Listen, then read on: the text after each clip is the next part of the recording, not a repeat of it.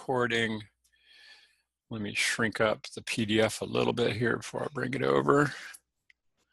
Okay, so if you look in the textbook, this is, let's see what page am I on here? I am on 292, roughly, or 293 is where I'm at. Okay, Yeah, so uh, oh, I remember. I remember that. I have it in my. Uh, I have the that the, that table look that square looking thing in my reference book. Okay, okay, cool. it's the chi-square test for a one-way table. So suppose we want to evaluate whether there Oh. is convincing evidence for a set of observed counts in k categories or unusual differences from we might expect under a null hypothesis called the expected counts uh, that are based on the null hypotheses e1 e2 e up through ek if the expected count is at least five and the null hypothesis is true, then the test statistic below follows a chi-square distribution with k minus one degrees of freedom, okay? And so they're telling you you can look at the upper tail of the chi-square distribution to find your p-value. We consider upper tail because large values of chi-square would provide greater evidence against the null hypothesis. So you always do a one-way to the right tail, all right? So if we go back and look at the question from the quiz, it says micro habitat associated with foraged and bed sites for barking deer in Hainan Island, China, were examined from 2001 2002. The region woods made up 4.8% of the land, cultivated grass plot 14.7%, and deciduous forests make up 39.6%. Of the 426 sites where the deer foraged, Four were categorized as wood, 16 as cultivated grass plot, 61 as deciduous forest. Use the table below. The table below summarizes these data. Okay. All right. Okay. So, do you want do you want to go through and actually do the the calculation? Do you want to write the hypotheses? Do you want to do the whole thing? I should ask you. Let's start there. Do you want to do the whole thing? Um, I believe. I mean, yeah, might as well. I don't. It doesn't bother me. I mean, I'd rather know what I did wrong because I I know somewhere I messed up. Well, chi-squared is. Uh, I haven't finished grading this yet, just so you know. But it's. I mean, I, I've been a little bit slammed the last couple weeks, but that's okay. Um, chi-squared is a useful technique, and it actually shows up in social sciences and psychology and anthropology and pretty much any of the ologies. So, what you're looking for. Go back here to the textbook for a second. Uh-huh. Looking for the chi-squared test statistic, which is this guy right here Yeah, which is the sum, of the observed. Well, all of the observed and right? Oh, I think I can do a better signal than that. Let's try that again. Yeah, it's the sum of the observed minus the expected quantity squared over the expected. yeah. Yeah, okay. And so that's equal to your chi-squared um, test statistic, or how you, how you actually calculate it, right? And I watched I watched a Khan Academy video, and they said it's not really like you can ha- write it like an X, but it, it's not actually an X. It's not an X, no. It's a capital uh, case C in, in the Greek alphabet. And it looks totally like a C. Yeah. All right. Like the Greek alphabet. Yeah, well, one of the ancillaries of this class is you get to learn a little bit of the Greek alphabet. Okay, so the null hypotheses would be, I mean, what they're, what the um, hypotheses here are, is that the foraging sites are are all equally used. In other words, the deers don't have any preference to any of, of them. So you would expect to find 4.8% of foraging in uh, the wooded regions and grass plots. We find 14.7 of them using those and 39.6, used- etc. I used LaTeX for that. I said P under well, just for proportion one was the. I just basically took each percent and made a little LaTeX out of Sweet. each of the things. Okay, cool. I really Right. like LaTeX now. So. LaTeX is pretty sweet. Yeah. So P1 is going to be equal to what? 0.048. Yeah, when it oh yeah okay never mind never mind I when I don't see the extra zero I kind of my brain kind of goes what All right, guys, that better? yeah All right, cool. And then P2 is going to be 14.7%. yeah And then P3 is going to be equal to, what did they give us for P3 here? Uh, 39.6%. yeah I'm actually glad I got to cut like be at this office hour because I was telling my parent I, as soon as I got home I was like I need to make it to the office hour Okay. All right. So, and then the one last thing is the other, okay? They didn't give us the Oh, other I because remember, these got to add up to 100%, right? yeah I know that yeah yeah Sweet. Okay. So I'm just going to go ahead. I'm going to use R for a calculator here. That's I think that's where I messed up. I didn't for some weird reason I didn't think the I I knew it was a popular uh, you know, it was a proportion Mhm. population but my brain was like, "Oh yeah, you don't you don't need a you only need those three, but then it No, no, you need you need P4 too, which is other. uh, Okay. So the way you're going to find that, yeah, the way you're going to find that is you come in and you go, all right, go one, subtract, and then let's see, let's go get our other our proportions here. Point zero point zero four eight, uh, and then subtract from that. Uh, let's get the right number here. Uh, zero point one four seven.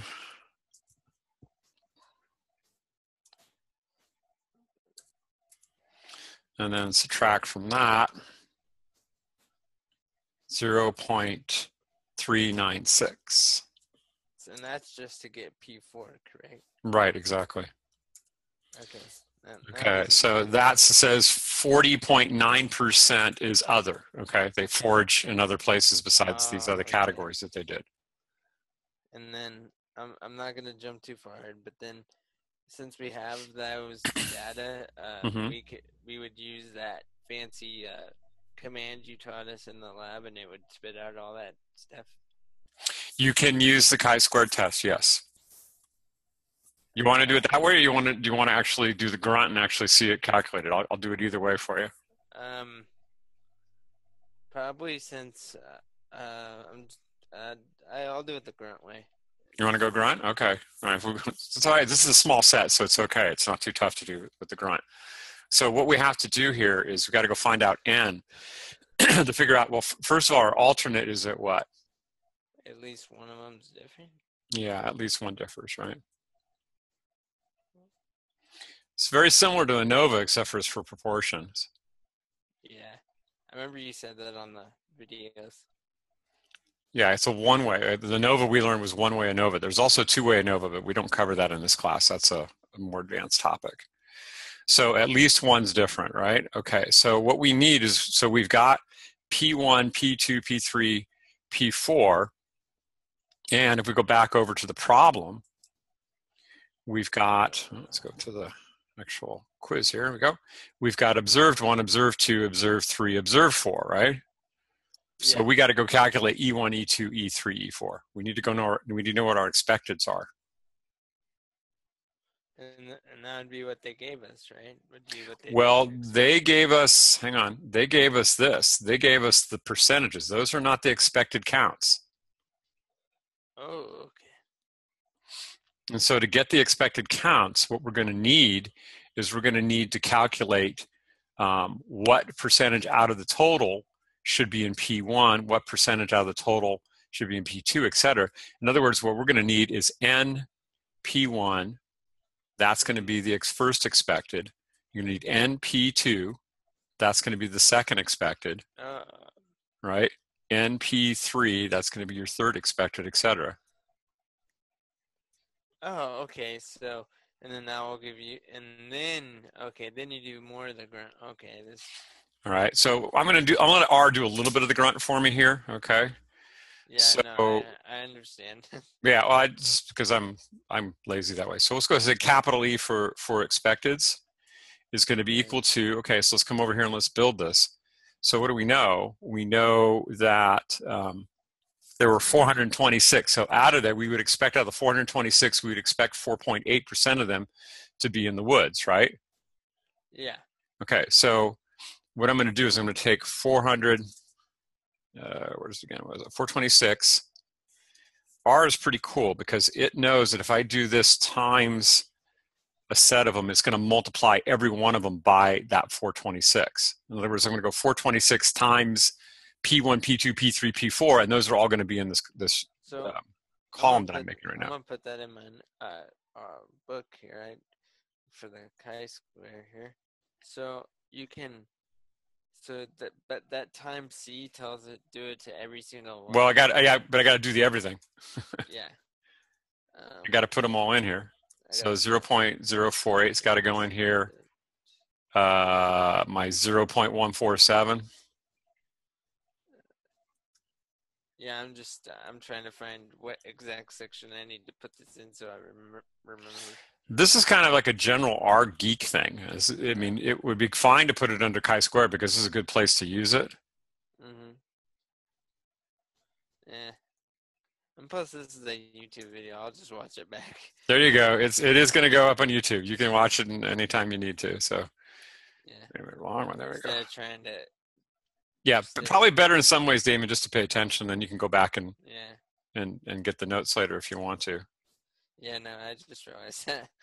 Okay, so what that just did, what that says is take 426 multiply by this number, take 426 multiply that one. It's basically, you could think about it, it's using the distributive property, is one way of thinking about it. Uh, my good old friend. Yeah, okay. So now notice it just made a new variable e. If we hit an e, so one of the assumptions we have to check for the test is to make sure every one of those expecteds was greater than five, and they all are, yeah. right? I mean, let's go back just for a moment to the book here. And it said, um, uh, da, da, da. I want to stop that you. Based on the null hypothesis, expected at least five, and the whole hypothesis is true. And so we, the basic assumptions, we're assuming the data was was collected correctly. There are k categories, and the expected counts is at least five for every one of them. All right. Yeah. Okay. So far, so good. All right. So that's your expected. Let's go make the column O for observes. And observe, that's going to be the ones that are actually, uh, What they observed, right? yeah, that's the 4, 16, 67, and 345. Oh, okay. So that's 4, 16, uh, 67, On and my 3. screen, they look like dots, but are those commas? What now? Are those commas? Yeah, those are commas. Yeah. You have to put commas between. When you're creating a list in R, you always have to put commas between the numbers. Uh, okay, just on my screen, they kind of look like periods for a second. But it's okay, I understand. Is that better if I make it bigger? Uh, yeah, I can I can blow them up. Thank you. Okay, so that's my column of observes. So if I just come in here and hit O again, see I got that in those columns, all right? Well, yeah, that's cool. I forget about these small things sometimes. All right, so let's go let's go calculate our chi-squared. We'll do it again, we're gonna do it sort of let us let R help us out here, okay? Yeah. Let me just show you a, tr- a trick here. If I take, see again back to um, the actual test statistic, we need to take the O1 and subtract E1 and O2 minus E2, et cetera, right? Uh-huh. check this out. If I take O minus E, Whoa. So it'll do, it does it. It goes through and, and subtracts them all for me. So you don't have to sit there and type out every single problem. No, it, it knows to do it to do it element wise. It knows to go and subtract the first one from the second one, et cetera, right? Okay. Okay. Now what do I want? You need to square them, right? Yeah, I want the sum of the O minus E squared, right? Oops, let's in the right spot. So I want the sum of the O minus E squared, and then I want each one of those divided by E, right? Yeah. Whoa. So that's fancy schmancy way of writing it out. That's that is this. That's the sum right there. So it took O1 minus E1 divided by E1, etc. Okay. Okay, I'm I'm following. Is okay? Is good? Yeah, no, I'm, I'm t- this is really helping me because uh, when I was taking the quiz, I I knew I was missing something, but I wasn't sure. And when I get flustered, I'm like, I don't understand. It doesn't work out so hot. Yeah. I told you. I told you in my in my uh, thing. I was like, this week was really rough. well, yeah. I, like I said, I have not. I've been. I've really fallen behind. It's just been an amazingly busy week for me, and so I've fallen behind. I have not got this quiz graded yet, and I got to get in there and get it done. Uh, no, That's, I understand. I'm I'm not picky. no, no, it's more for me than anything else because if I don't get it done, then I'm gonna have two quizzes to grade, and then that just gets insane. So I got to get get after it. Okay. Anyway, so I. I All right. So t- tell me, just based upon what you see so far on that chi-square test statistic, right? Mm-hmm. What do you think about it? Do you think that we're going to accept the null hypothesis or reject the whole null hypothesis? From what I see, uh, mm, reject it. Yeah. Okay. So without even without even going into actually doing the chi-squared, um, te- uh, that's the chi-squared test statistic. But I'm saying without going in and doing the p-value calculation, can you see why the p-value is going to be pretty nearly zero there? Because it's going to be really, really. When you do the math, it's going to be really small. Yeah, it is. You're you're right. I mean, it's totally on spot on. But the thing is, is that the reason it's so small is because okay, here it is. Yeah, it's it's problem 6.44. Cool. I just want to make sure I was doing the right problem here. So the reason is is that when you have a chi-square test statistics that's so far to the right, there's hardly any area whatsoever to left. Okay, so the p-value is going to be nearly zero. Let me, let me go back to the picture for just a minute, Damien. yeah, no problem. Um, See, that's a chi-squared uh, distribution, isn't it? Right? Yeah. We came up with a um, a test statistic that's like a million miles off to the right. you know? Yeah.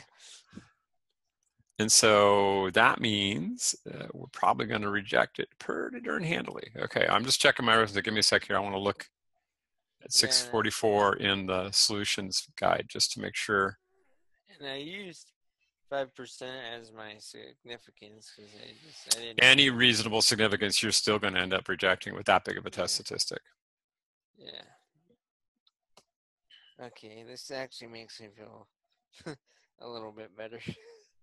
Yeah, well, you could have used the the fancy schmancy um, tool, or you could have done it by hand. That's totally up to you. I mean, I believe in the homework. So I want to kind of look. I wanted to use the tool, but I, where I was getting lost was like, I knew you had to put your observed values and your expected values, and you had to do chi dot square. I think it was chi square dot or no, it was something dot test. I remember. I remember it was yeah, right, exactly. It's chi chi dot. I think it's chi square dot test and then I knew to put um, your uh, observed in one and the expected in other.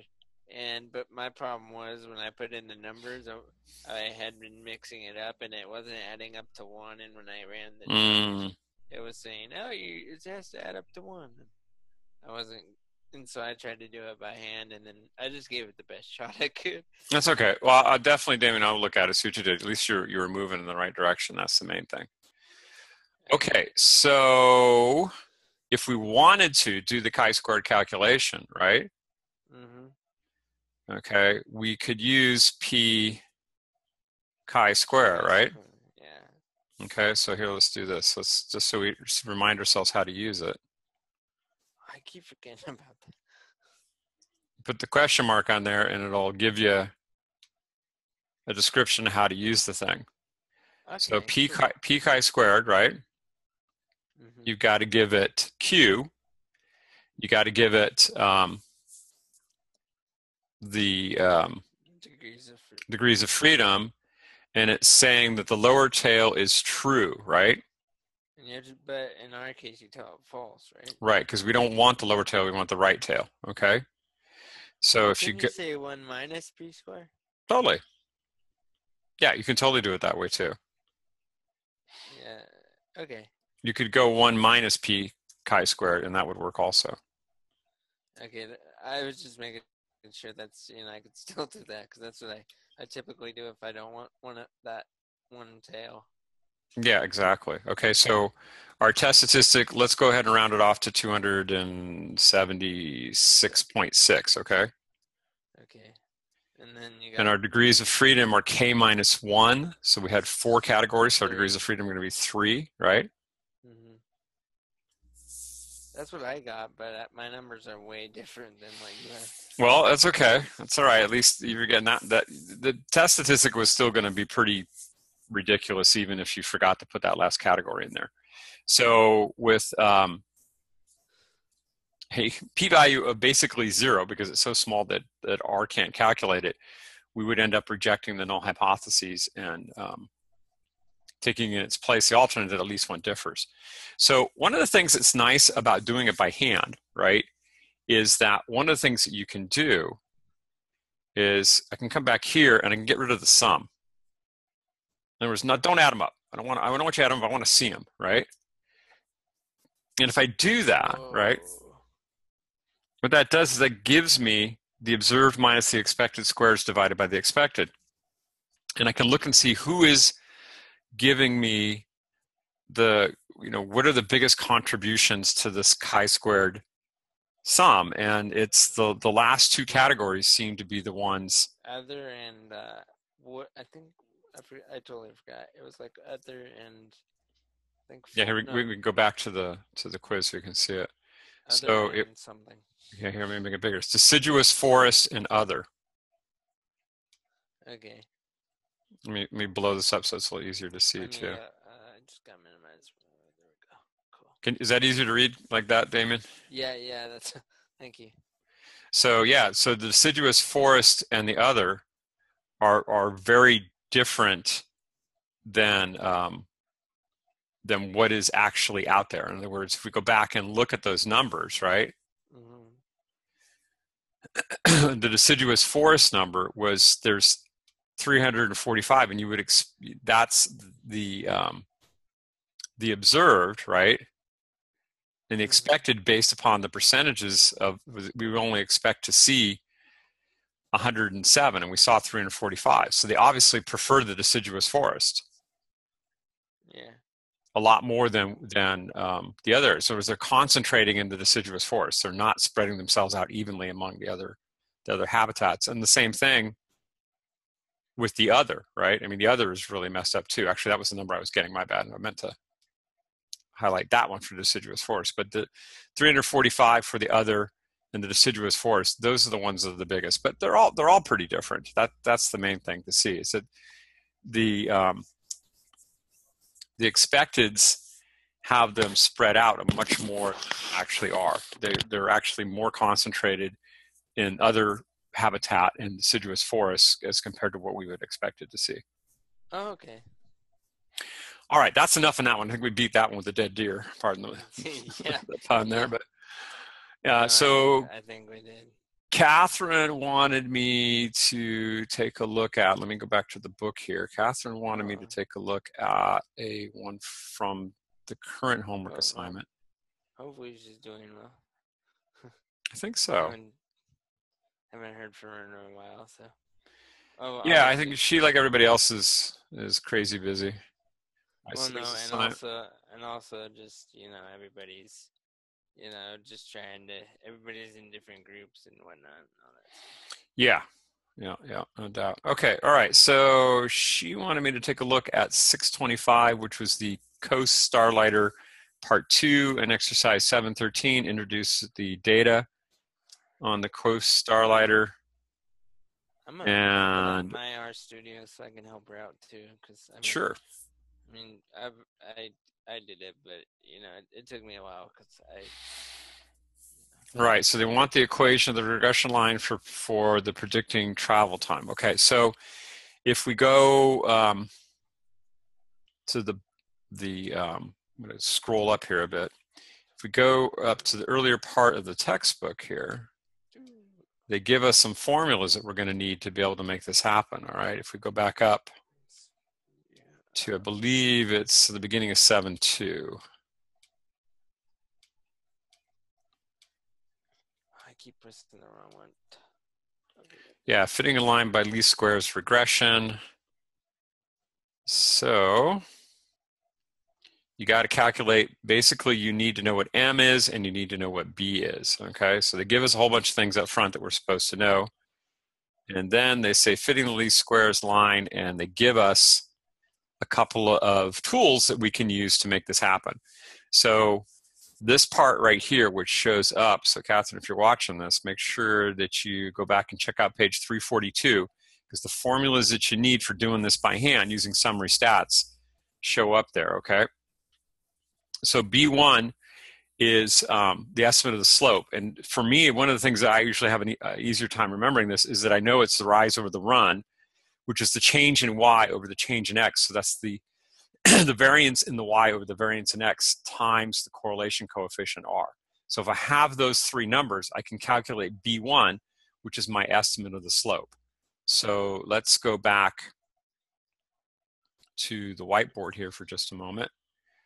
So Damien, I'm going to kill this one. So we got a fresh whiteboard here. All right. So we know. Yeah, I'm just, I'm just relaxing. So. You go. So y hat is equal to b0 plus b1x. All right. That's that's our predictor line. So to get that, we're going to need to know those two numbers. So b1 is equal to the standard deviation of the y's divided by the standard deviation of the x's times Pearson's correlation coefficient. So in in problem 725, they're going to give us that. They're going to give us those numbers in the table. So then once we've got that, we can get an estimate for um, B naught because we know that the mean and of the x's and the mean of the y's is always going to be a point that goes through the equation of our line. And since that's true, which I guess the second form we needed wasn't on this page. Let's go and scroll down. Since that's true, we can use that to calculate our slope. Okay, so so that's using this right here is our old pal, the point slope form of the line, and you can use that to calculate um, the actual equation of the line once you know what B1 is. All you have to do is plug in the mean of the y's and the mean of the x's. Okay. Now, if you just want to know the intercept, there is another way of doing it. So let me give you both of those. So you can do y, back over here for a second, y minus y bar is equal to b1 times x minus x bar. And that might look familiar. So from back in algebra, y minus y sub 0 is equal to m times x minus x sub 0 was a formula of the line that you might have seen in algebra, or you may not have, either way. Okay, so that's one way of getting, this gets me the equation of the line once I know B1. So that's EQ of the line. That's one way of doing it. Another way of doing it, I'm not seeing it right now in the book, but I know I've seen it, is that I can calculate B0 by doing the following. I can say, well, look, I know that what I want is I want y hat is equal to b0 plus b1x, right? Well, if I know, let me get a different color here. If I know, hey now, what was that all about? That's very bizarre. Stop that. You go over there. Okay.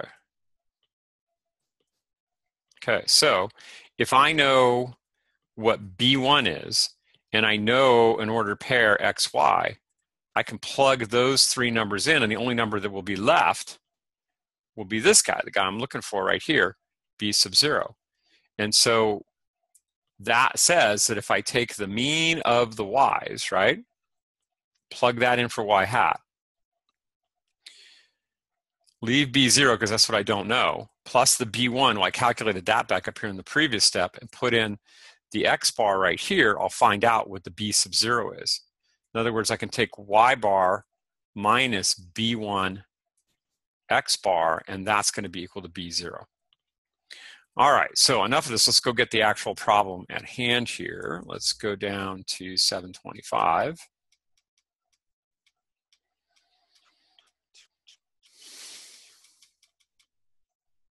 Okay, so write the equation of the regression line for predicted travel. So we've got everything we need here. We're just going to have to parse it out of the sentence. They didn't give it to us table to give us into these paragraphs. So the mean travel time from one stop to the next is 129 minutes with a standard deviation of 113 minutes. The mean distance traveled from one stop to the next is 108 miles with a standard deviation of 99 minutes, or 99 miles, excuse me. And the correlation between them is 0.636. So regression line for predicting travel time, okay? So input the miles and that's supposed to tell us the travel time. So let's go right down. It's going to take a few flicks back and forth here. Let's go right down everything. So we want, what I want to do is get rid of some of these things that I have running here right now. They're taking up my computer's brain. All right, so. All right, so we want to know what B1 is. So B1 is going to be the ratio of the standard deviation of the y's. So that's going to be, they want um, the predictor to predict travel time. So the distance is predicting the time. So you give me the distance between um, two stops and it'll tell me the time between them. I believe that is what they're looking for. So that's going to be. I put 113. Wait, hold on. I'm th- I'm thinking out loud. well, I put 113 and I put an R chunk for it. I said. Uh, yeah, I'm I'm definitely going over there to do the actual calculations. Just a minute, Damien.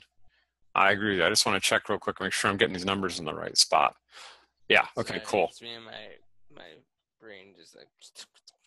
No, that's, that's good. So S sub y was equal to 113, right? And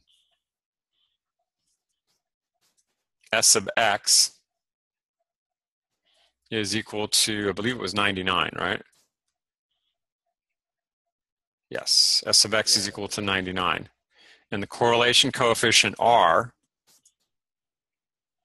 is equal to, let me get back to the right page here. Here we go. Correlation is 0.636.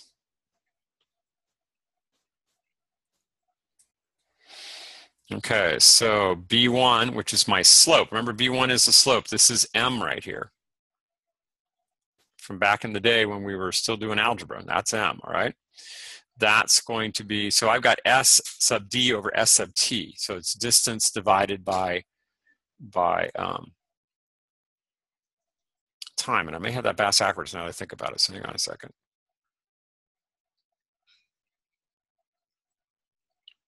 Yeah, no, I got, I got that right. I put it, I put it bass backwards in my drawing. I, I said it right, but I did it wrong. hmm. Okay, so it's not that, okay? It's 113 divided by 99 times 0.636. All right, let's go over and do that in R.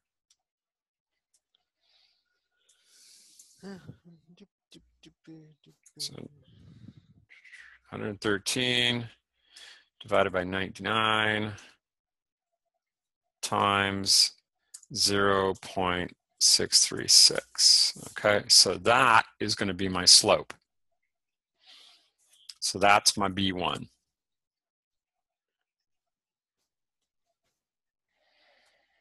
That's, let's see, we'll go out to 0.726. That's going to be plenty of decimal places.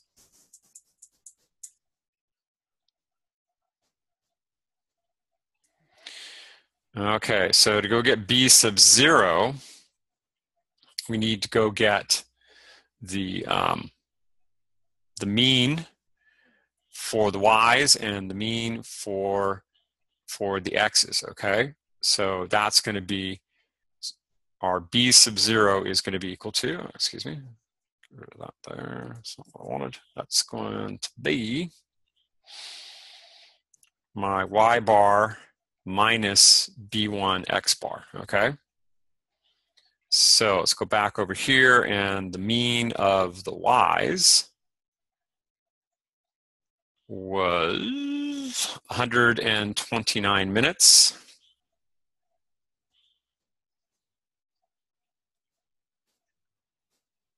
Minus my B1, that's my 0.726 and I got to multiply that times my x bar. And my x bar is 108. So far, so good? Yeah. Okay, cool. So let's go over and do that. Although I, I put x minus 108 on mine. Like, does that make a difference?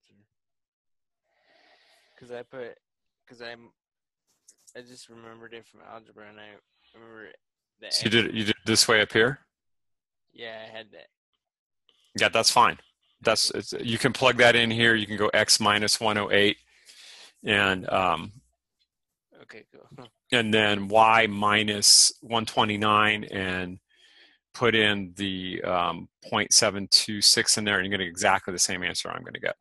Okay, I, I, I figured so. I just Okay, but I'm, I'm going to go over right now and go do that over in R. So let's see, you get 129 minus 0.726 times 108. Okay, so 50.592, right? Mm-hmm. Cool.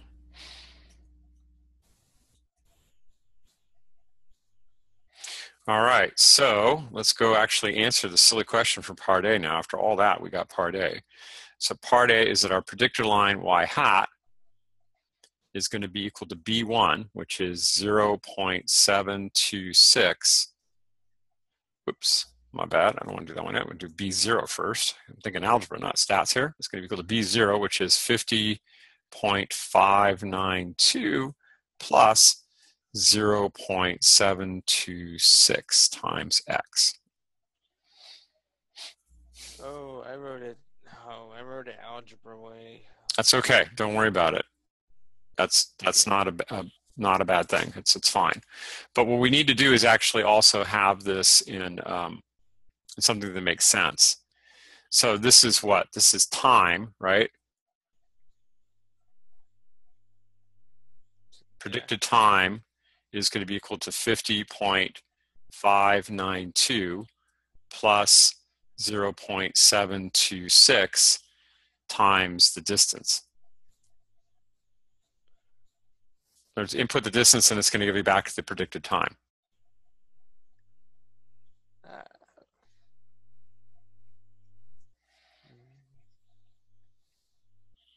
So far, so good? Yeah, I'm good. I'm good. Okay, cool. All right. So, what's the next part of this silly thing? Uh, I, I believe you have to interpret the slope and say. Yeah, we're interpret the slope in context, okay? All right, so let's make a new window here. I don't want to necessarily kill this window because we've got a lot of numbers we're going to need off of this. So, how do we interpret the slope? So we know that B1, which was equal to our slope, is 0.726. So that number is, um, it's the change in time divided by the change in distance. In other words, this is, if you think about it, the, the delta y over delta x thing, this is delta t over delta d. So that tells me that as you increase um, for each additional mile in distance, we're going to get 0.726 minutes of travel time or 0.726 minutes of travel time per mile. Okay, I just worded it differently. I was. Oh yeah, there's way, way many ways of, of wording it. We get 0.726 minutes increase for each mile. Okay. Does that work? Yeah, it works. No, yeah, I, I'm an, I really love the English language, and I often just go way too far with my. I would never accuse you of being verbose, really. All right, so let's see. That's part. I think they wanted. What else did they want from us? Did they want uh, um, and the no, intercept? Yeah, they wanted the uh, intercept too. yeah, I put zero. Wait, wait. Let me hold on. What did I put? I put zero comma and then the y-intercepts. But then I also put to me this makes no logical.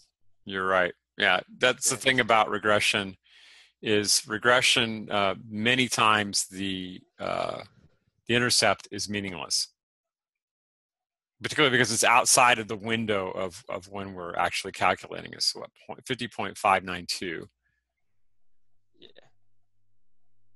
which means that's when t is equal to zero, right?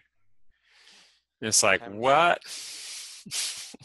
I cry because I have no idea what the heck that means. I went at when time zero, I traveled 50.529. Does that mean I had to go 50 miles to get to the train first or something? So it doesn't make sense. Unless you can stop time. Yeah, right, exactly. Unless you're a time lord or something, right? Okay, so it doesn't make sense and context of the problem, and that that's going to be actually relatively common. That the um, intercept has no practical meaning; it just is part of the model. Okay, so that was all part. This was also part of part B up here. So let's go take a look at part C. Part C, I think they wanted r squared for the regression line and then interpret r squared in terms of the application. Okay, so r squared is simply just r quantity squared. So that was what? It was going to be equal to 0.636 squared, right? Square, yeah. Okay, so let's go over to r and do that. Just run this chunk real quick because I thought I had it. But... Okay.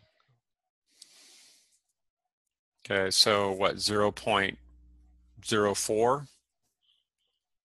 Yeah, it's yeah zero point. Wait, for me. 0.404, excuse me. Yeah. Uh, Yeah, me, I, for I read it wrong. My bad. Sorry about that. So yeah, just take 0.404, and that's what r squared is, right? Yeah.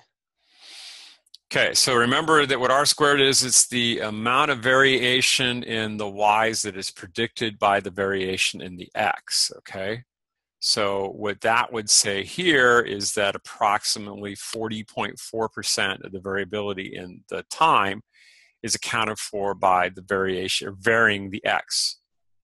In other words, it's explained by, by, by travel, by distance. Yeah. Okay. I, I thought it was. I thought it meant the strength of the relationship. It, that's this number. This one tells you It's really actually I take that back. I mean, I mean, it, really, it does. It still tells you that. But the way you got to think of it is that r squared is a percentage.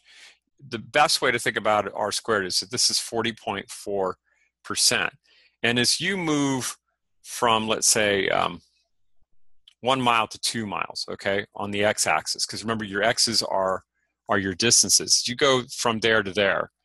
The y should vary also. The y is going to go up, right? The time's going to Mhm. increase but how much of that increase is explained by, for by the model? Well about 40.4% of it is. Okay.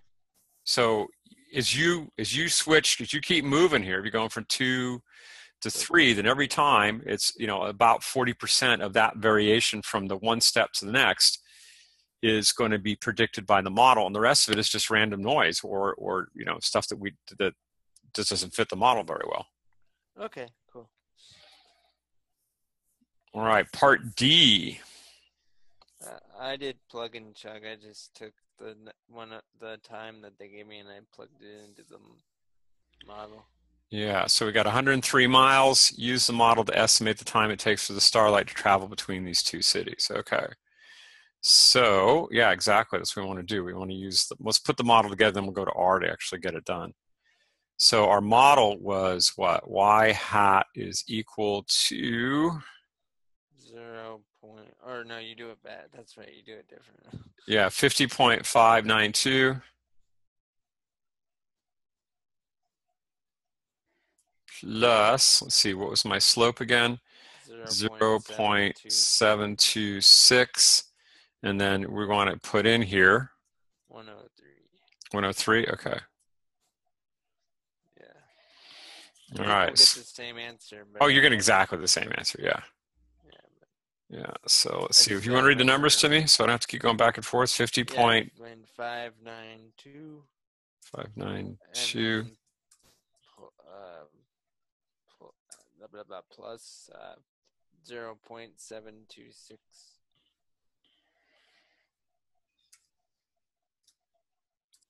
And then or bracket, or no, you can't. Uh, time symbol. yeah have to use the time symbol Uh, it was 108 right Uh, 103. 103 okay so i don't know about 125.37 minutes or you could I rounded up to 126. Yeah, that would make sense. That's fine. I think that's the book answer too. So, but if you gave 125.3, that's fine also. Uh, okay.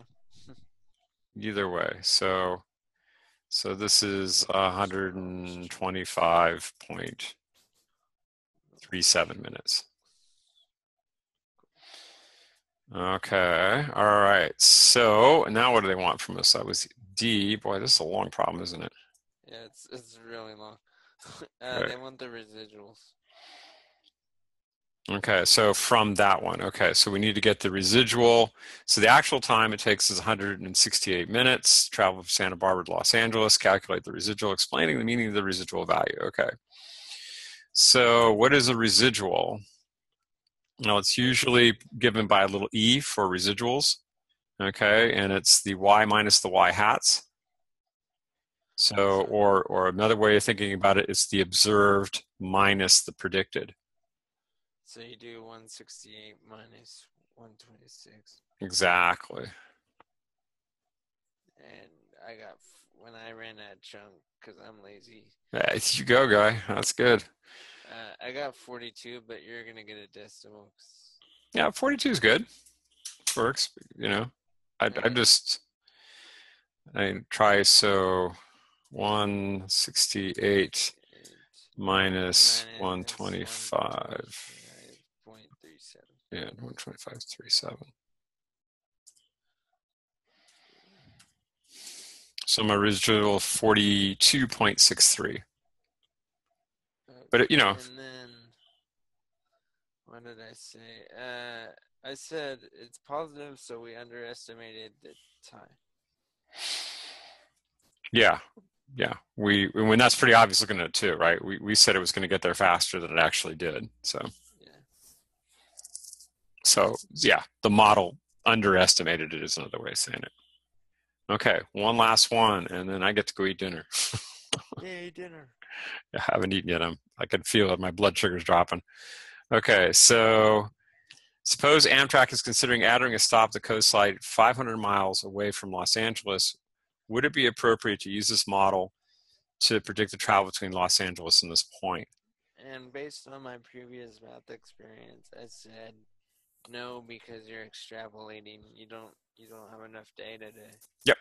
to go. Rocking the cows by there, Damien. That's exactly it. You're outside of your your data. Okay, the the this was between Seattle and Los Angeles, which is not 500 miles was not in there, right? If I remember correctly, we probably Yeah, have to go look at the first time they talked about it in part one. And I remember uh, the book says extrapolation is dangerous or something like that. It is.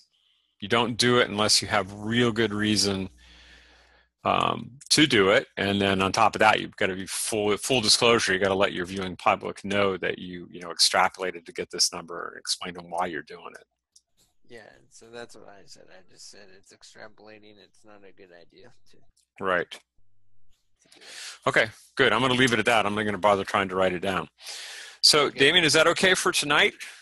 Yeah, the only other thing was just uh, a question about the written final, but I can just message you about that. That would be great because um, actually, if you wouldn't mind, would you go ahead and put that in the Q and A form? Because I'm sure if you got that question, I'm just going to have to put it there anyway. Okay, I'll just do that. Yeah. Uh, so enjoy your dinner. eh? I will. Thank you, and I will talk to you next week. All right. Have a good night. Thank Okay. You very much. Thank you. Bye bye. All right. Bye bye.